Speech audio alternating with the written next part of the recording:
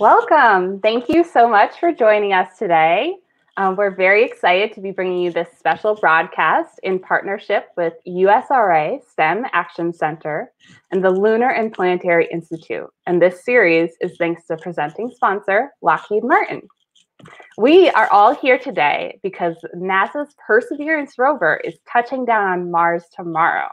The landing is expected about 3:55 Eastern, um, but coverage begins on various NASA channels at 2:15, including NASA and NASA Espanol YouTube. Um, we're going to be putting a link in the chat right now about where you can find more information about tuning in tomorrow. And the chat is also where we want to hear from you today.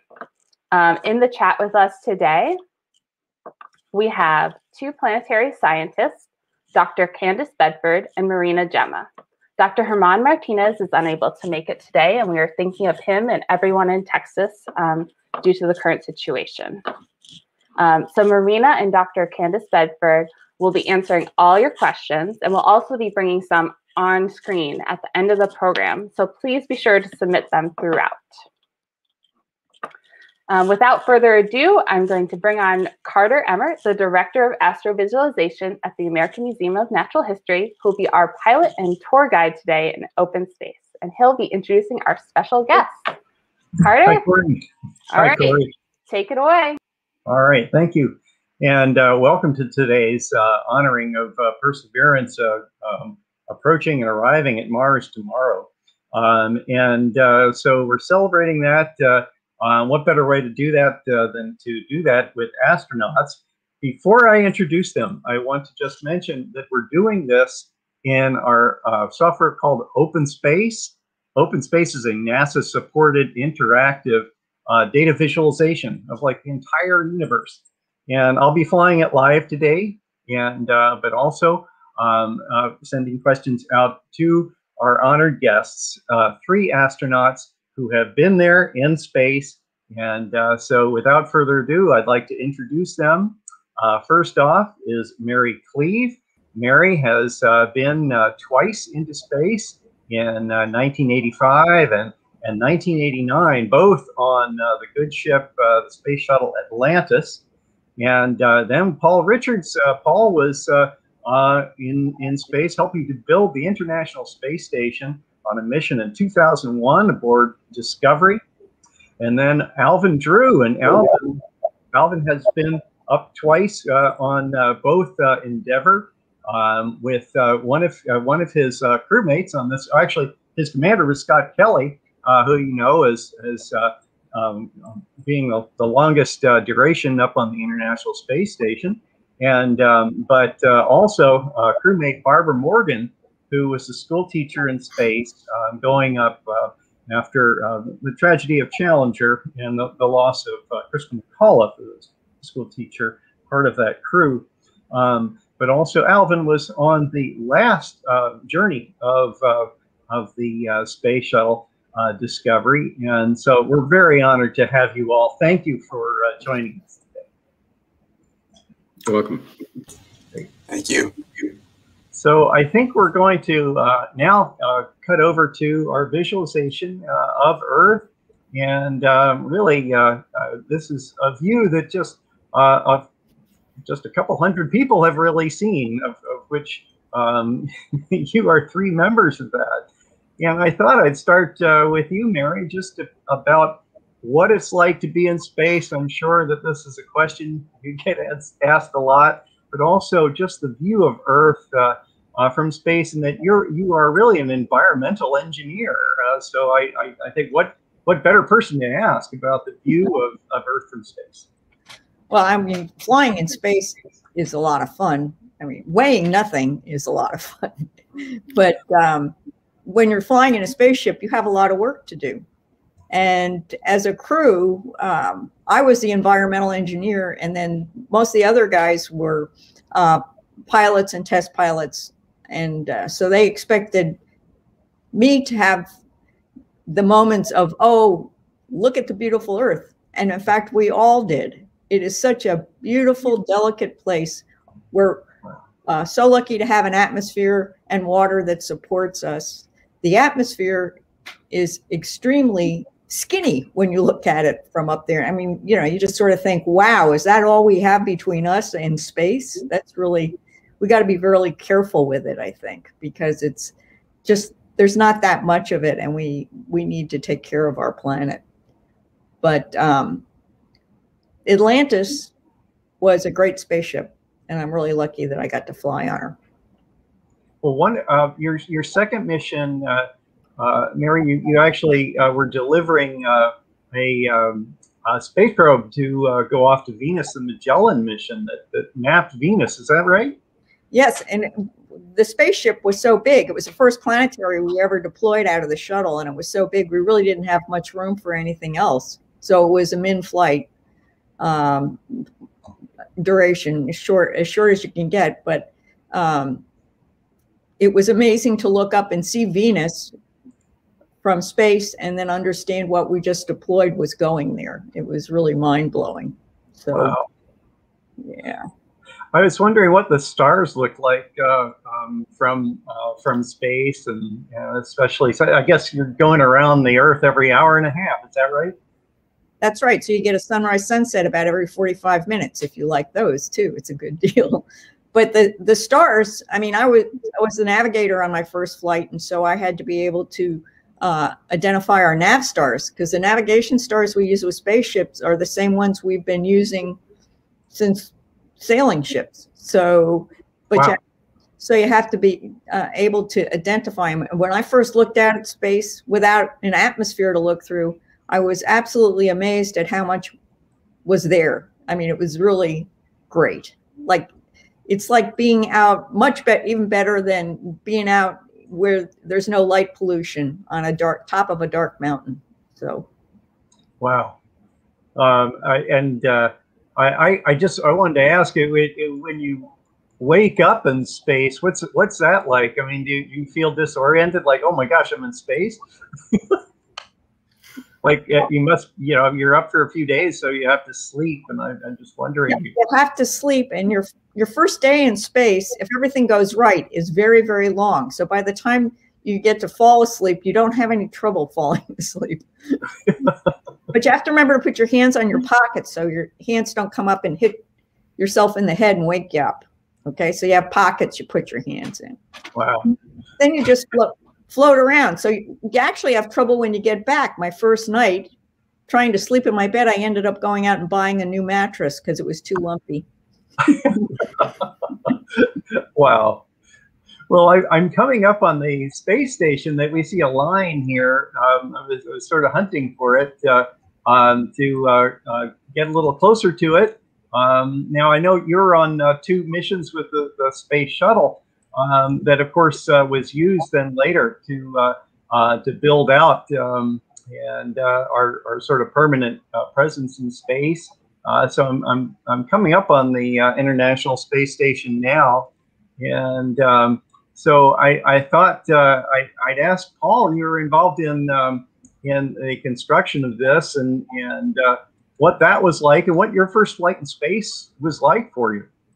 Oh my gosh, look at that yeah. picture. yeah, so that was uh, uh, folks from the outside taken inside. I believe that was on the first spacewalk. Uh, so our job on STS 102, we were the first crew rotation. So we brought up Expedition 2 and uh, brought home Expedition 1, uh, which launched six months ahead of us uh, before our mission. And we did two spacewalks in construction. And um, yeah, you know, the view from space, uh, you know, they train you so much that for me, it was hard sometimes to remember what really happened after the mission and what was in training, you know, because you do things over and over again, but the view is something that they can't train, you know. And it was interesting to me the dichotomy of looking down at Earth, you know, launching out Florida and then eight and a half minutes later, we were at Sunrise in Florida. Eight and a half minutes later in the in uh, Discovery, we were over the Alps uh, in Europe. And then uh, I had to be reminded uh, by Vegas, the pilot, to look down because I was heads down doing calculations. And he's like, uh, "Hey, Paul, that could wait. Get unstrap and look out the window. We're in space."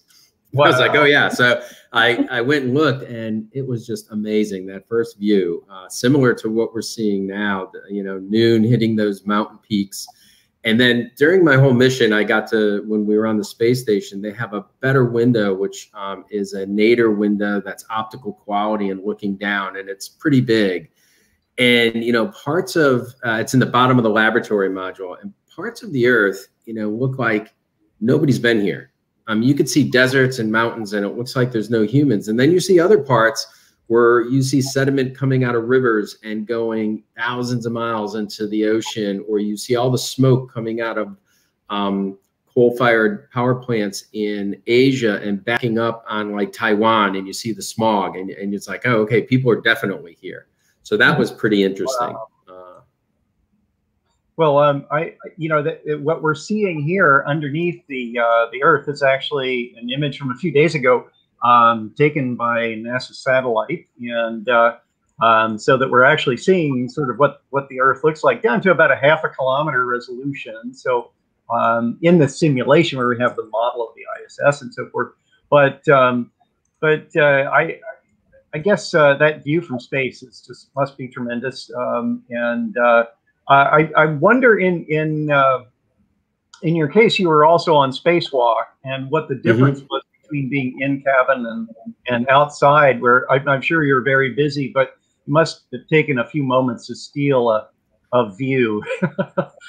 yeah, yeah, that you know one of the one of the advice I talk to a lot of folks, and they you know the advice is when you do a spacewalk, don't forget to look down. You could get so focused on your job, and somebody says, "How was the view?" and you forgot to look. So, um, you know, it's you saw us looking through those windows and and the shuttle windows are like triple pane and they've got dents and scratches from years of flying. And so eventually your eyes adjust to looking through them and you know, the camera doesn't pick up those.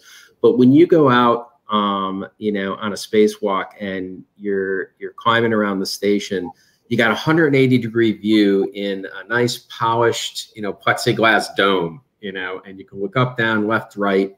And you know, the the it's it's just liberating to see that you know and very up close. And i always say it's like uh, you know uh, when i was a kid i don't know if they still have them going to a zoo uh, and we used to drive through these zoos in new jersey. And uh, you drive through the safari. Well going on a spacewalk is like getting out of the car and being able to walk around the animals you know uh, and walk up close. Uh, so and then um, habitat yeah, jungle habitat. That was it. That was it. Yeah, and then you know you get such a great perspective. Uh, we had to actually go fix one of the solar arrays, and and uh, on our configuration, it was only one solar array, and it was stacked on top. So we had to climb all the way to the top of it and use a very sophisticated tool called a crowbar and um, and then tap the lock in place. Uh, so the the uh, solar array would actually it's a four bar mechanism and it would lock. And they could tell it wasn't locked by all the engineers on the ground looking at the dynamics of the boosting, and they could tell something was wrong with that solar array. And we went up and uh, fixed it. So, so do you ever get a sense of vertigo out there? Sort of like, oh my gosh, I'm really up high. I did not. Yeah, you know, and that's you know, it's very interesting when you put humans in space. We got three here that had uh, a lot of similar experiences, but some different experiences. And you know, our journey, you know, uh, to Earth, to the Moon, and to Mars. You know, the uh, once you put the human in the loop, there's so many variables, and that's what we're trying to find out. We're trying to find out all these variables that you know different humans react different ways. So, uh, and we're just in the infancy of doing that.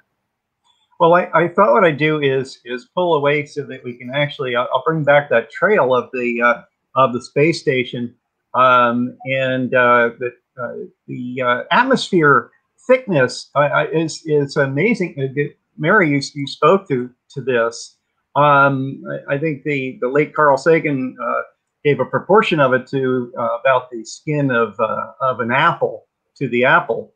Um, and the ISS orbits about 250 miles up, but the uh, thinness of the atmosphere about 20 miles or so before it goes to black. Obviously, it, it sort of it, it it sort of exponentially decays outward, but I guess what we see is only about 20 miles. Is that right?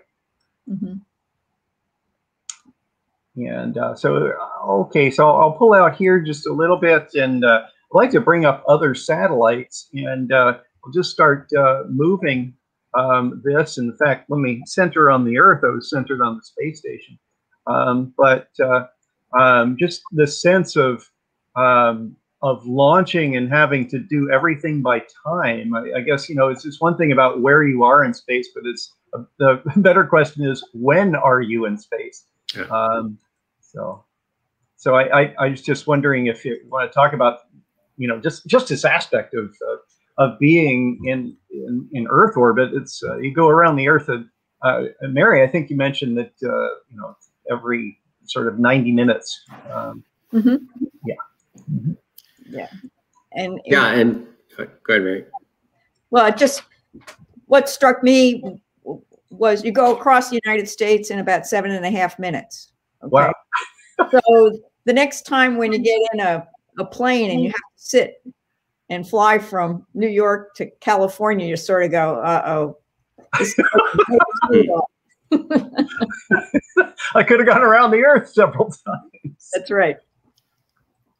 Well, uh, yeah, and, and as as navigators, you know, the the one thing, you know, it's not like flying an airplane when you're in space because you have to use, mm-hmm. uh, you know, orbital mechanics, um, mm-hmm. and so you know what you do with uh, speed on one side of the earth affects position 45 minutes later on the other side of the, wor- the earth. And the faster you go the higher you go. The higher you go the slower you go. The slower you go the lower you go. And so it's not like the movies where you actually speed up to uh, come into a reentry like on earth or on mars. You have to actually slow down to come in. So you put the vehicles backwards and fire your engines in the opposite direction Um, and so you're always flying 45 minutes ahead um, because you change speed on the one side. Like if you want to rendezvous with the um, uh, International Space Station, you know, you have to make your orbital maneuvers on one side to change your position on the other. And we're really in low Earth orbit, and you can see the the geo belt there with the geo. So they're so high up and they are actually moving with the rotation of the Earth. Uh, so weather satellites, communication satellites. Um, so their period of revolution, when they are the you know the distance equals the circumference of the Earth in orbital mechanics, um, they rotate uh, or they go around the Earth in an orbit that's one day. So they always seem to stay over the same position of the Earth uh, below as it's rotating underneath it as well. Mm-hmm. What happened there? There was a gap in the Earth, is because it, we actually rotated past the date line, and, and this particular date uh, was missing just a little bit of data, I think, from the satellite. Um, I wanted to actually show uh, another aspect. Uh, of course, Earth being the dynamic planet it is, uh, the water planet, uh, blue from the scattering in the atmosphere, but uh, of course, we're 70% covered with water. we, of course, see the filigree of clouds, and then also the um, the snows on the high altitudes of the mountain ranges we saw a little earlier. Uh, if I just come down here, we can see uh, Antarctica in uh, illumination. So the poles, uh, of course, are cold because they're always sort of right at the edge of of, uh, of sunlight or or not, depending on the season.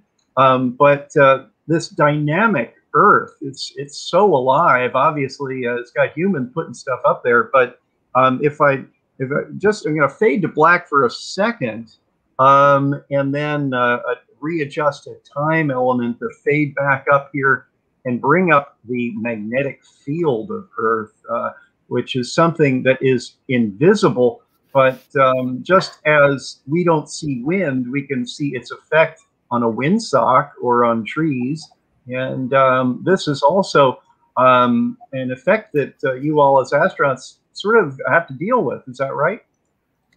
Yeah, I, I well, it, it's the magnetosphere, which is produced because we have a magnetic field on our planet, is what protects us from solar wind, which is produced by the sun. And if we, and that's. I'll pull back to show the solar wind, Mary.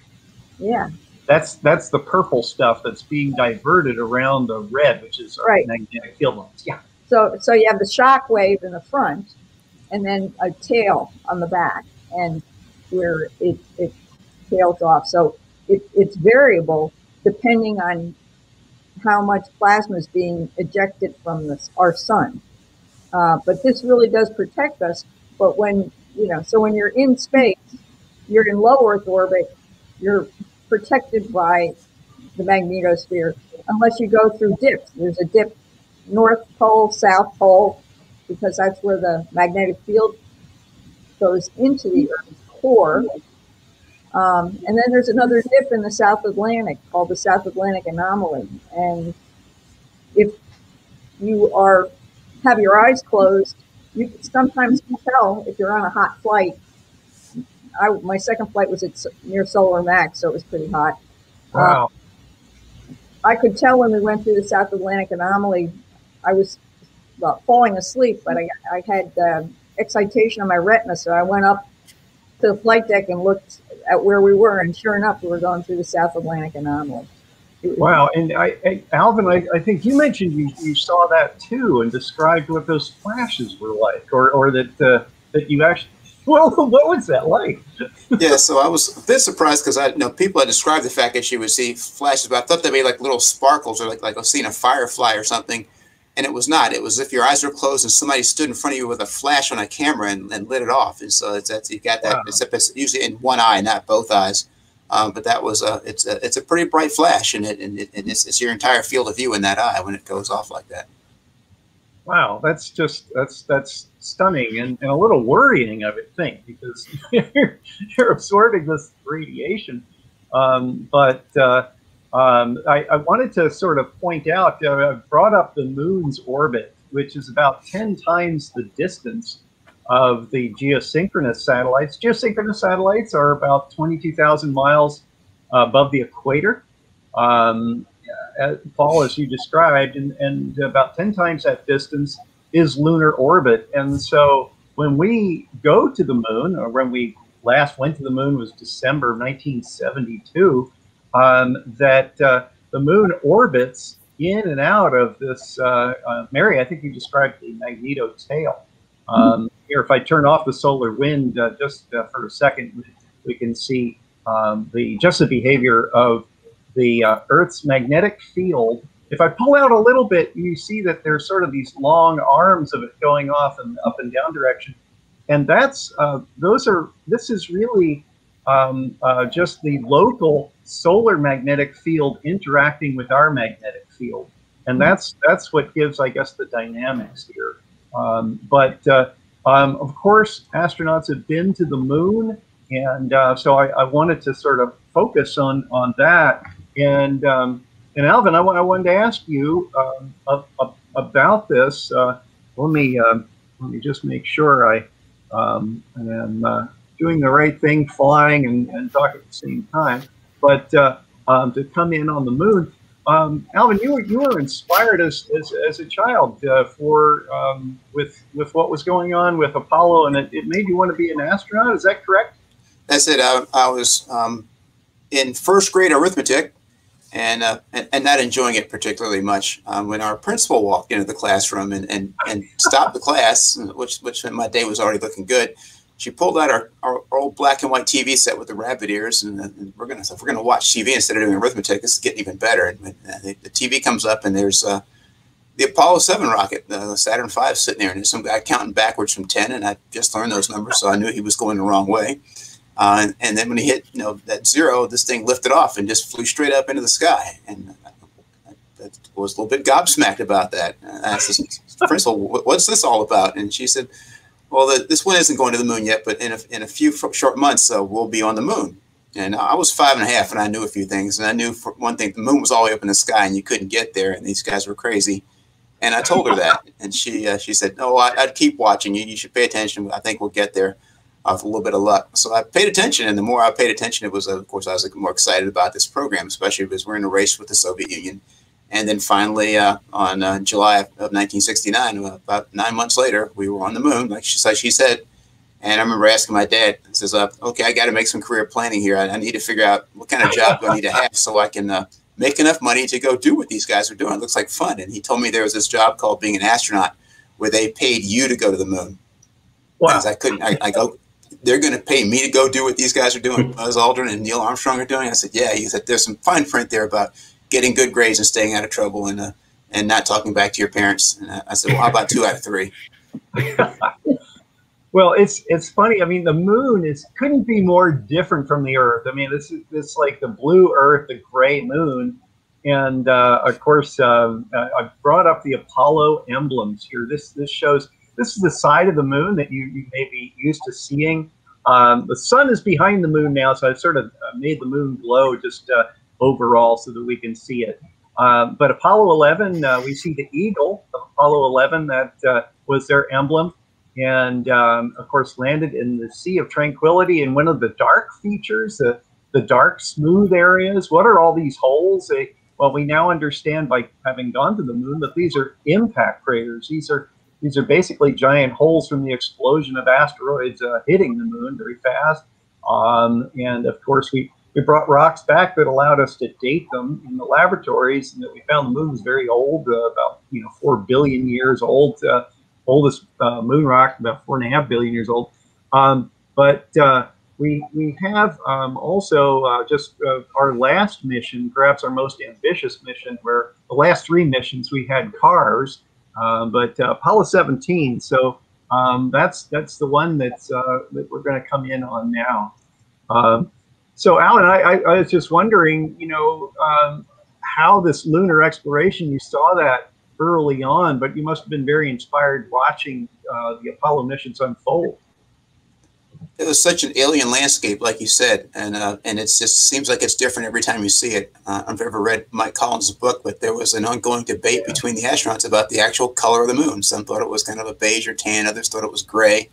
And, was, and you look in different pictures, it's, it's different colors when you see them. So it's just fascinating that, that, that the moon has this, this that weird quality about it that depending on the lighting, it's different colors also the fact that you know every time you you get closer in, there's there's more and more craters. You know, you see the big craters from up distance, but then there's like zillions more tiny ones as you get closer down to the surface. Wow.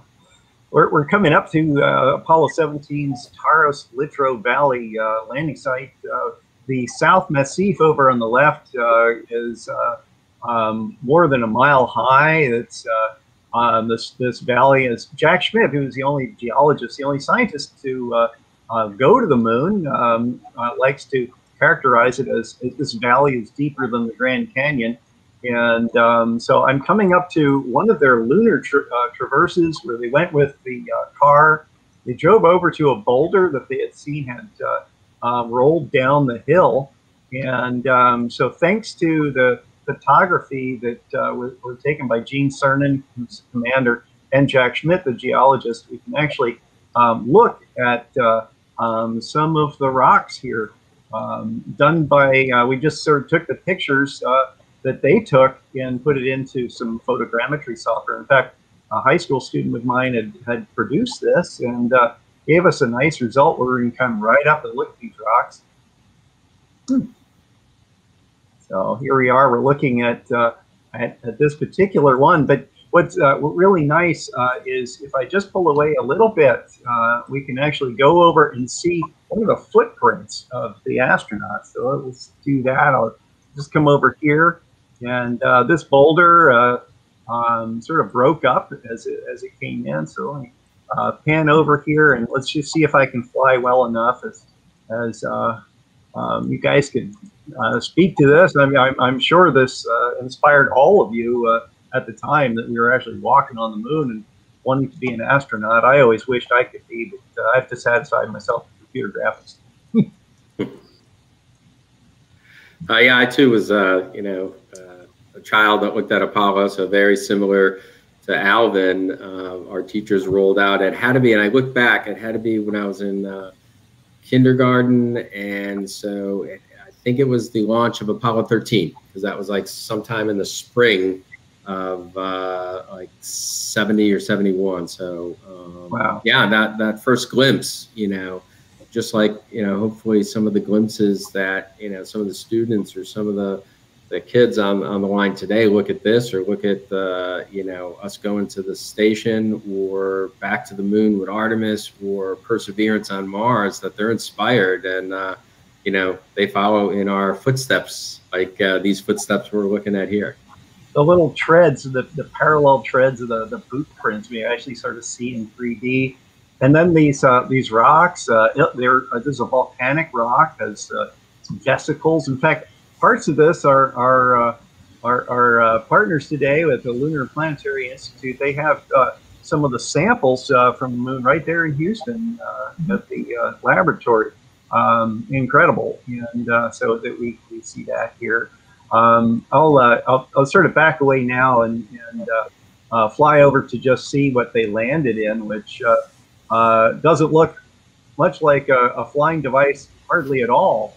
Um, I guess it's, you know, it's uh, all airplanes uh, deal with having to fly through uh, fly through air, but the lunar module, I guess, only had to fly in space. Yes, for me, that's one. That for me, that was probably the most fascinating engineering marvel of the uh, of that entire program. The Saturn V, you know, it's a it's a big thundering rocket, impressive in its own right. But the lunar module, mm-hmm. um, the fact that they had to the, the weight constraints um, and everything that was upon it was probably the toughest engineering challenge. And I think, although it's not the prettiest part of the program, probably the most elegant design that we had out there uh, for getting uh, two astronauts to the surface of the moon and, and back up to the orbiting module. Right here, um, we see uh, another close-up uh, image. We can actually see, in fact, let me pull back just a little bit. Down in the lower uh, foreground is something called LRV. These are pictures taken really within the last decade or so by our Lunar Reconnaissance Orbiter. So this this is a mission that's gone back looking at the stuff we left on the moon. As I mentioned, the last mission here, uh, December of 1972.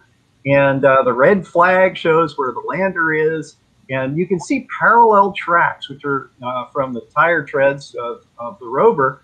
Um, but then more sort of randomly, sort of walking around, we can see the boot trails of the astronauts. And uh, here we have a little bit of photogrammetry of the lunar module you can go and see at the Smithsonian National Air and Space Museum on the on the mall in Washington D.C. And uh, so we can see how they, um, uh, you know, had to land in this thing. Mm-hmm. Yeah, so, it's, it's it's like we're we're looking at you know, this is kind of looking at you know analogous to Columbus's Whoa. first journey in 1492 when it was a flyby, you know, uh, and then you know hopefully we're going to go back and, and, make a settlement like Jamestown, you know. Uh, um, so that's amazing to be able to see this history and have it preserved. Uh, you know that you can actually watch it and not just read about it. You can actually visually see this. Pretty amazing that uh, you know we, have been able to photograph the, the, the, the stuff that we've left there and uh, oh, actually, I just want to show one little thing. Uh, over on the left, you can see uh, one of the boot trails. And it's a little bit darker, and then you can see a smaller um, uh, marker for the flag.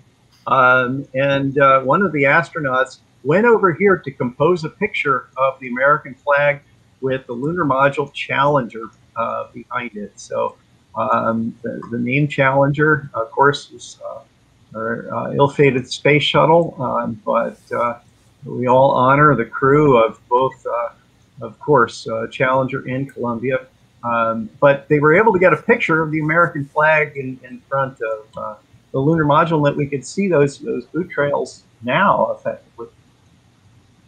So i am I'm, I'm going to pull out uh, away now, and I'm, I'm going to just set up for um, just you know going from the moon to Mars. I, one thing I should mention is, uh, the, I didn't mention it, is the moon is one fourth the size of the Earth. And so it doesn't have as much mass, can't hold on to an atmosphere. And uh, so that, that uh, really it's a, a, different kind of world than the Earth. And the Earth is so dynamic, the moon does not have a, a magnetosphere or an atmosphere or a hydrosphere, water. So um, what I'll do is uh, just set up for our our next uh, chapter here. And uh, right here. Okay. And um, so this, uh, um, Paul, I, am going to show some uh, uh, orbital dynamics uh, right now. We're, we're, set up now. We're high above the solar system. I've, I've moved out far away from the, the moon is only about a quarter million miles away from Earth. Um, and um, I'm going to just show now I'm going to run time so that we can see that we go around the sun in one year, and it takes about two years for Mars to go around. So this, I, I was starting in April of 2018. Uh, we came as close as about 35 million miles away from Mars, it would be really nice if we could just go instantaneously. But why does it take so long to get to Mars? I understand that it takes about six months. So uh, yeah. Yeah. So the the uh, well the distance and the speed. So again, you have to leave Earth's atmosphere, and you have to get all that mass uh, out of gravity. So you have to bring all your fuel with you uh, for this one. So you want to um, get leave when it's the closest. So um, you can see there that um, you know that your M 2021 was uh, a Perseverance, correct? Yes. Uh, yeah. And, so uh, that left Earth when it was the closest Mars and Earth, and you have to fly where Mars is going to be, not where Mars is. It is, and yeah, it takes you know. So every two years, there's a window of minimal fuel uh, to get there. Wow. So it, would be really nice if we could just sort of ride like a laser beam straight there, but uh, uh, not with any technology we have now, I guess. No, the way I describe it is um, if you ever watch roller derby, um, and there everybody's orbiting around the track, and it's like the, the Earth and the and Mars are orbiting around the sun. And if you're going to say somebody's on the outer rail and you want to catch up to them, you wouldn't just stop and turn 90 degrees and go out to them. Um, you would somebody would give you a big boost from the inside that rack, and you coast up to that person and maybe take them out because it's roller derby. Um, but you never would take that straight line there. You, you, you, you, take that circular route around the track, and that's if, if you look at the gravity well around the sun, it really is like a roller derby rink, and they're just they're rolling around in that in that pit. Wow, I, I should have mentioned uh, we didn't label the interior planets, but uh, Venus goes around. We, we of course Earth goes around 365 days. Uh, Venus goes around 225 days, and uh, Mercury uh, 88 days, the same number as keys on a piano. It's uh, um, just you know it goes around really quickly. But Mars takes almost two years, and and this this this notion of having to lead out in front of it is is, is quite interesting. I'm going. Uh, it's January 20. I'm stepping through just to sort of get closer. I guess they come up and meet, and uh, we haven't actually seen Mars just yet. I'm stopping here at February 11th, and I want to come in um, close to Mars. So let's let's do that now. As I do, the label may disappear. Um, but we've been looking at these trajectories from a standpoint of like above the solar system. Uh, but what Mars sees is the spacecraft sort of diving in um, toward. So we begin to grow a trail here of what Mars would see. So I'll, I'll let me get a little closer, and I'm going to turn off the uh, uh, the trail. Uh, give me a moment here uh, just to go to uh, to do that. Uh, let's see. I'm going to turn off its trail so that now we just see that little tiny um, trail of it sort of diving at Mars. And so I'll go February 12th, 13, 14. Whoa, I don't want to go too too quickly.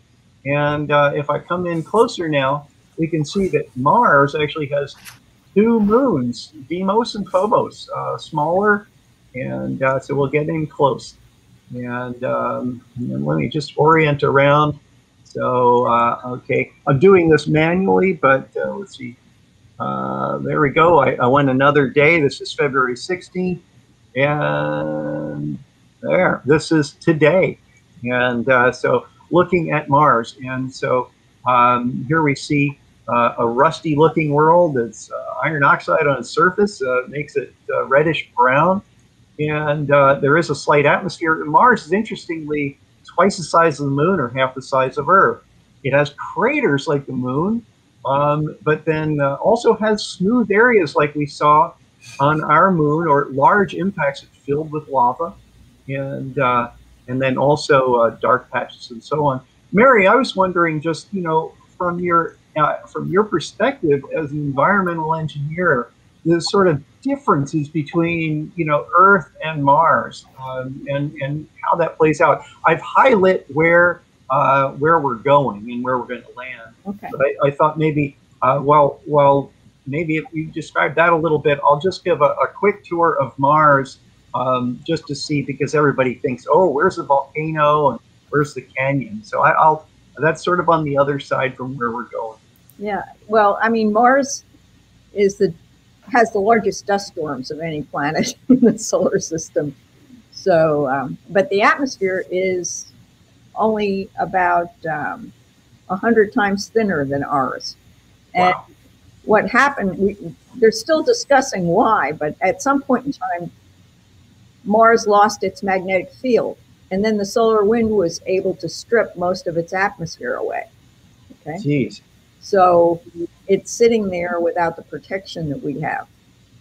Magnetic protection, um, which also leads to the loss of atmospheric protection.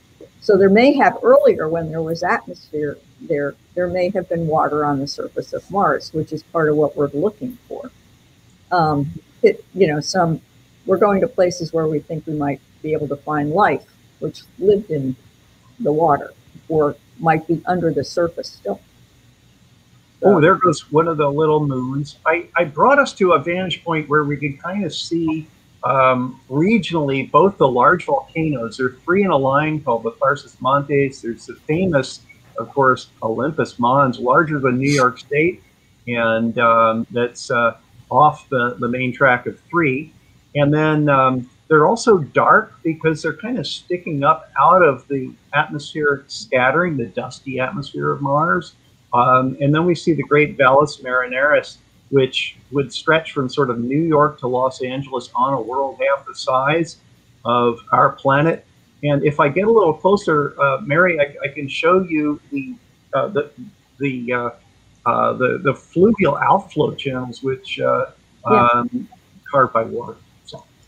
Yeah. So the and that, that's where you know it they they think the probability of finding remnants of life, and that's why they want to collect samples because we need to bring them back so we can look at them in a laboratory with really sophisticated instruments. But we'll just collect them on this mission and then send another one to pick them up.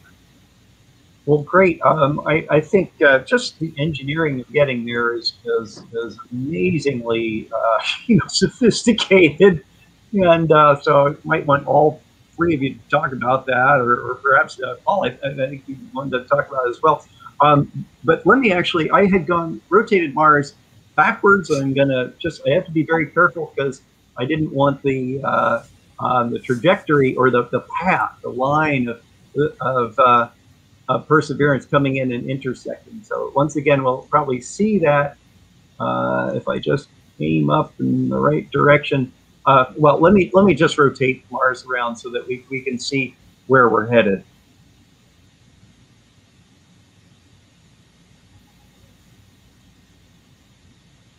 You see Phobos going by, and then Deimos.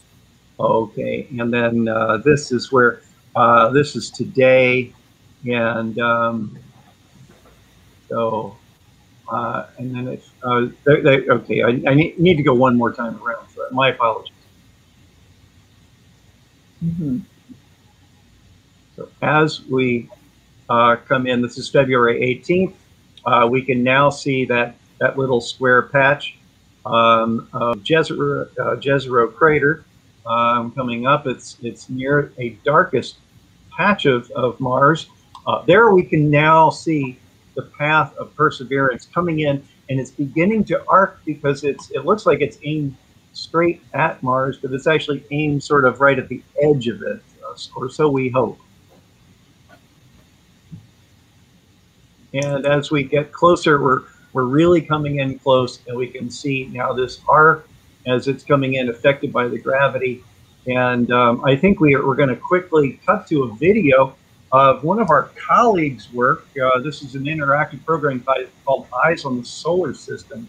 And um, and you can download this as well. We have uh, information, uh, if or you actually just need a website. Just go to it, um, and uh, but this shows. Um, we'll, we'll, start talking to the technology here. Um, so this is the entry, descent, and landing phase. And again, this is orbital dynamics and physics. Uh, so. You know all that energy that you put into this and it got uh, by slingshotting around the planets and, and takeoff it's got to be taken out and you, you do that by managing your energy uh, coming in and using orbital dynamics. So you actually have to slow down to come in not speed up.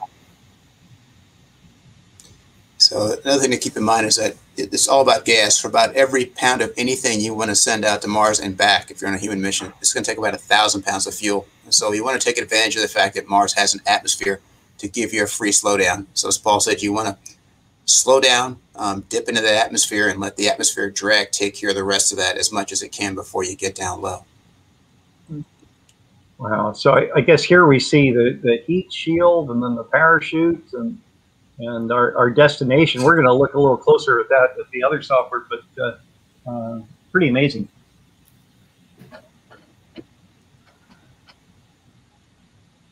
Yeah, so the technology, a lot of this, it's, you know, you have to design all these parts that, that move uh, and do a job in uh, harsh environments. Uh, uh you know, there's the radiation uh, for the electronics. Um, and now you're getting the heat of reentry or the cold of space.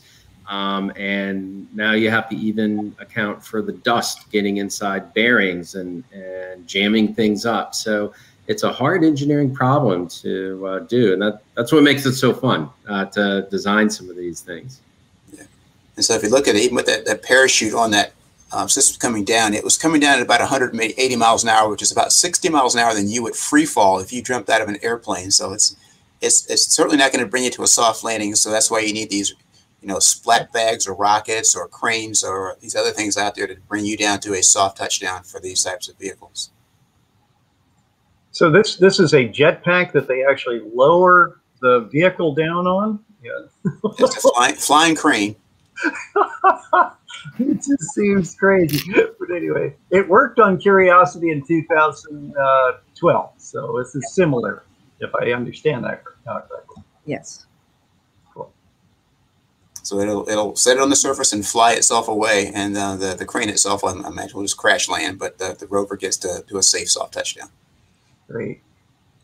Well, I, I, I, brought us down to the uh, uh, the target destination, um, and I know we're getting kind of short on time, probably because I talked too much. Sorry.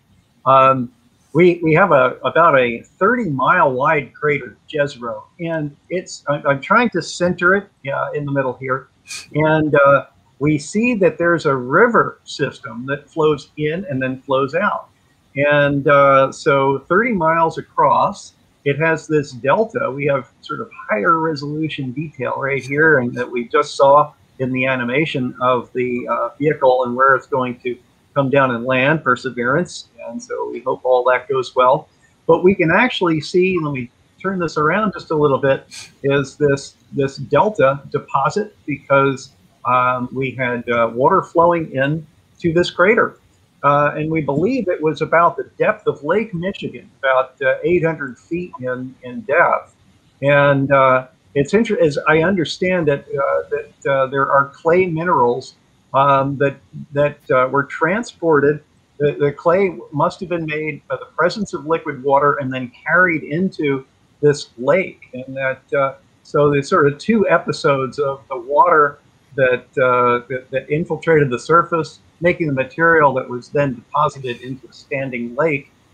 And by all indications of the cratering record about the age uh, around the time that life got a foothold on Earth, or the oldest fossils we see about three and a half billion years ago, is the, our best estimate for dating uh, where this is. And so I'll just uh, bring this down so we can see maybe some of the detail of what it can see. But at this point, I, I know that uh, there are probably lots of questions uh, from our audience, and, and maybe we should uh, cut to some of that and, and perhaps uh, answer some of those wonderful questions. Yeah, I think we're going to bring some questions on screen now. So why don't you take us away, Carter, from Mars, um, and we'll uh, get to those. Okay it's always hard for me to stop talking about this stuff because it's just so it's it's so exciting to see Mars in great detail. It's been mapped by Mars Reconnaissance Orbiter, other uh, missions that are there, and also a shout out to uh, China and the United Arab Emirates uh, that are also they got they got to Mars on this launch opportunity. They're already there in orbit, uh, and China will attempt a landing in May. So anyway, I'll, back away now um, from from here and well, we'll take in the questions.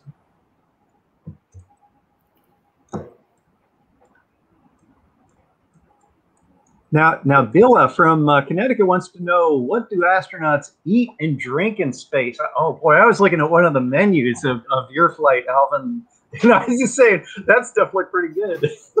it was it was it was even better than you thought because there was uh, an international flight that had just uh, crew that just left. So there was Italian food and Japanese food up there as well that wasn't on our menu that we got got to loot before they before it expired. So yeah, we had sushi up there. We had um, cheeses and sausages, uh, had barbecue and steak. So uh, the only thing we don't eat are things that are crumbly like pretzels or popcorn because they, they, they, the crumbs don't just fall to the floor. They get in people's hair and then they get upset with you. Wow. I, I had a good experience in space because my first flight I flew with uh, Rodolfo Neri Vela and he was a payload specialist from Mexico. So we got to try out tortillas in space. And yes. we found out that they were by far superior for making sandwiches than bre- regular bread is. And so that oh. was really a lot of fun. And then you can play with them too. That's great. Wow. Um, what was what was your favorite thing that uh, you ate up there? Um, I like peanut M and M's. Go ahead. So, uh, so it's go ahead, Paul. Um, uh, we each get to bring sometimes some fresh food on the shuttle uh, before you know it's going to last a couple days. They pack it um, right at the end, and sometimes the commander, you know, like no bananas because he didn't like the smell of bananas. Uh, um, and so for my fresh food item, I picked Little Debbie's oatmeal cream pies. Yes. and my crewmates yes. laughed at me, but they were gone on day one. uh, that's wonderful. Mm-hmm. Well, uh, next question. I uh, let's see uh, from Corey. Yeah, I'm going to bring the next one on, and just a reminder: if anybody has any last questions they want to ask our astronauts, put them in the chat now, and we continue to bring them up. So here's the next question. I I'm in the eighth grade. What can you do right now to help uh, myself become an astronaut? Wow. we were talking a little bit about that before we got started. I think. Yes. I would say the first thing is to actually believe that you can do it the whole time. I think the hardest part of anybody becoming an astronaut is having the courage to, to send away for the application because you think that you know, there's no way they're ever going to pick me. Uh, you just have to know if, if, if, if you believe it now in eighth grade, then you'll you'll take the courses you need to, to get the education. You'll you'll do the things to prepare yourself. Um, but as soon as you decide that you can't become an astronaut, you'll, you'll go off the path. So just always be convinced that you can be one. Yeah, oblivious to the impossibility. And the other thing is, you need to do something you have a passion for and enjoy and have fun. Because if you enjoy it, if you have a passion, if it's fun, you'll do better at it. And when you do better at it, that's the kind of things you need to be, uh, you know, to, to rise to the level of, you know, getting the opportunity to even interview or get selected. Yeah, and, and don't be afraid to go after something you're interested in that may not seem to be a direct direct tie to spaceflight because um, it you'd be amazed at, at the variety. I mean, you're better off with a crew with a, a variety of backgrounds because then you have more different ways of, of solving problems on orbit. Wow. They're good answers. There's a um, how do astronauts know when it's safe to spacewalk? No, that's that's a very good question. So uh, interesting enough, uh, after I did my spacewalk, I got to work on the uh, uh geostationary operation environmental satellites, GOES-R, and they have uh, instruments on them, and they get the space weather. So there is a space daily space weather report that, um, as Mary mentioned, the Solar Max, the Solar Min, and um, it you know the daily weather uh, from the satellites we have going around the Earth and looking at the sun uh, will give us a prediction if uh, uh you know it's safe that day uh, from the radiation standpoint to go out. Mm-hmm. Wow. I, I, I, really enjoyed hearing about the, you know, you could actually see the flashes in your eyes. It was pretty scary. Um, but um, uh, Corey, I just wanted to, to ask, I'm, I'm, sure there are a couple more questions, but I realized we left one thing out, and maybe we just had a chance to show it, which was um, that we're taking a helicopter to Mars and uh, called Ingenuity. So I didn't know if you had had that, and, and Paul, did you want to talk to that? Oh, um, so yeah, helicopters, mechanisms. Uh, you know, again, uh, some of the hardest things in space is things that move. You know, there's the electronics that make it move, but the motors, the gears, all this stuff, um, they're the things that usually fail. And so now you're trying to fly um, a helicopter in something that has different atmospheres, so you got different dynamics, and now you are actually flying like a, an aviator. And uh, um, and so those mechanisms have to work in extreme conditions, and that's the challenge of uh, you know trying to design something. And Alvin, did you you might have known a little more, more about this? I think you worked a little bit on. Well, just because I'm just proud of the fact is that, that the first thing we've taken off was a helicopter, uh, and yeah. that, that was especially in something that says it's a hundred times thinner atmosphere, and, and, and, helicopters have a hard enough time in the thick air of Earth. Mm. Yeah, and you know Mars is farther away from the sun, so it's a lot colder. It's the average temperature is about minus 80 degrees Fahrenheit. So wow. you it's got to be able to work in really tough conditions. I know my iPhone doesn't want its battery goes south pretty quickly in the cold. wow. So I'm looking forward to this because I think it will be the first time we've actually launched anything off of the planet Mars. We've landed lots of things there, but nothing's ever taken back mm-hmm. off again. I, I, guess we should point out too that that uh, while um, Perseverance uh, uh, will be collecting samples, it's it's really for a yet to find or yet funded uh, mission to actually bring samples back for the first time uh, uh, from Mars, which is very exciting. As um, I guess uh, there are all sorts of ideas in, in, quarantine as well because we're looking for possible life. So very, very exciting. So I think we're going to ask our last question now, and then I'm going to have uh, our survey link that we'd love to hear your input on. So I'm going to bring that up now.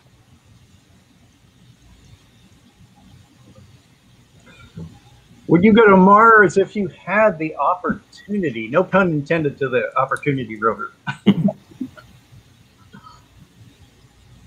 I when I went to um, interview for my space shuttle job way back when, and they asked me what I wanted to do in space. I said I wanted to cross country ski on the Martian ice ice cap. So I think so. I was. That's ready. why you got the job. That's great. yeah, I was a little ahead of my time. We'll get there. Yeah, I would definitely go to Mars, but only if there was a round trip ticket. I do want that return trip uh, back to Earth. Yeah. Uh, yeah. Of all and the planets in the solar system, my favorite's Earth. And when our this is uh, from my class, um, and we have uh, the Earth, Moon, and Mars uh, going going up here. So we thought we would be, you know, some of the ones maybe going to Mars. So it'll take a while. It's a group effort. So um, and uh, yep, I'd like the round trip too. Yeah, I think it'd be tough to go to Mars and just say, okay, this is it. be exciting though. Yeah. So Corey, was there any more or, are we about done? We're just about at time. We really appreciate our hearing from our guest astronauts today. It was so fantastic to have you. Thank you also to our chat scientists, to our partners for supporting this broadcast, and of course, thank you all for joining us. Um, before you go, we're going to reshare the link where you can watch the landing tomorrow. I hope you all tune in. Um, we're also going to be sharing a link to a survey because we'd love to hear what you thought about this program so we can improve our next one. And the first 30 people to respond are actually going to get a NASA logo sticker in the mail. So that's pretty cool. Um, so thank you again, everyone, and we'll uh, see you next time. Great. Thank you all. Fine.